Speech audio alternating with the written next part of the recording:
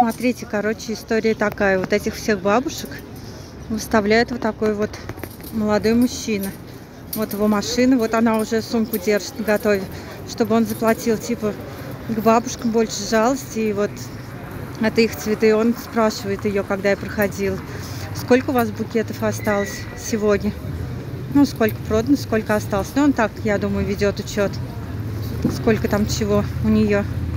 Вот она собирается. Я лучше подальше отойду.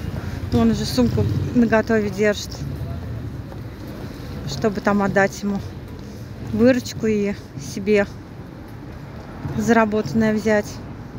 У меня был такой сосед, рыбак, но он там все продавал. И яблоки всякие, и всякую всячину. Вечно природу ездил. И тоже старика около магазина ставил. Он говорит, ну так больше, да. Ну такой вот ну, постарше, правда. Тоже, говорит, так больше жалости, так больше люди покупают, чем я сам, к примеру, стал сидеть. Ну, а у этого понятно там. У этого понятно. Не одна такая бабушка, а у него много точек. Так вот работают дельцы, торгаши. Она ему отчетность. Тарелочку, тьфу, табуреточку сдает.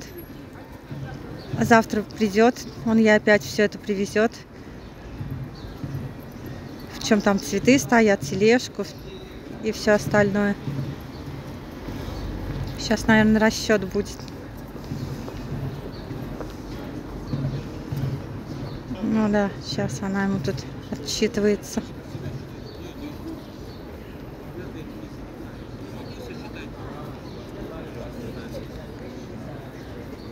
Он говорит, себе зарплату отсчитайте. Ладно, что-то не буду больше продолжать съемку. Он, по-моему, заметил, что я снимаю. Все, ладно. И так все понятно, в принципе.